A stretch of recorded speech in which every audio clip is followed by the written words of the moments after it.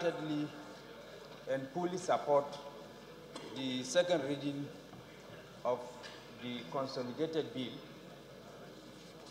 in order to cope the incidence of uh, money laundering, which has negatively impacted on our image among Committee of Nations. With regard to the observations raised by the learned SAN,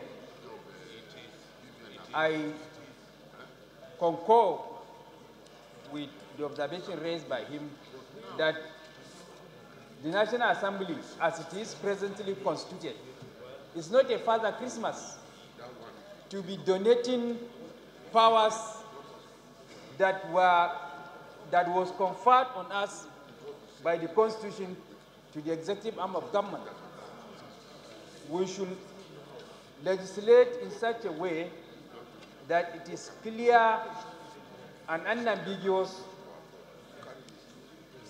and not to resort to donate powers to the executive arm of government. Because absolute power corrupts absolutely and breeds excessive or misuse and abuse of power. As such, I support that this bill should pass second reading.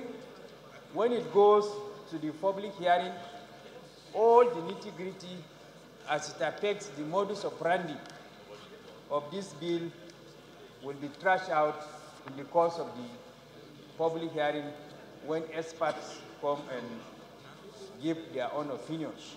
So I wholeheartedly support the second reading of this bill, but with a caveat that when it goes to the committee stage, we should not donate the powers that was given to us by the Constitution to the executive arm of government, because these powers that we are, this bill seeks to give the Attorney General is so enormous that we should not just donate it to the Attorney General. which should be exercised by the National Assembly. Thank you. From this row, Honorable EJ.